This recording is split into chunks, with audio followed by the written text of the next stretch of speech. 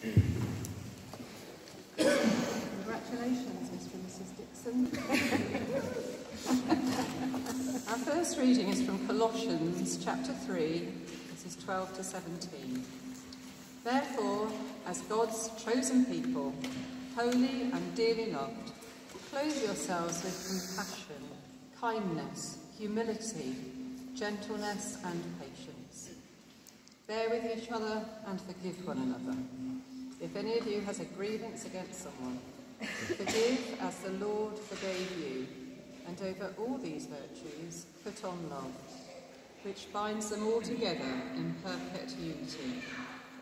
Let the peace of Christ rule in your hearts, since as members of one body you are called to peace, and be thankful.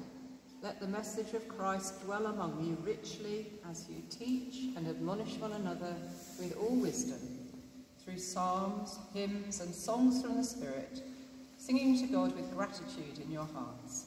And whatever you do, whether in word or deed, do it all in the name of the Lord Jesus, giving thanks to God the Father through him.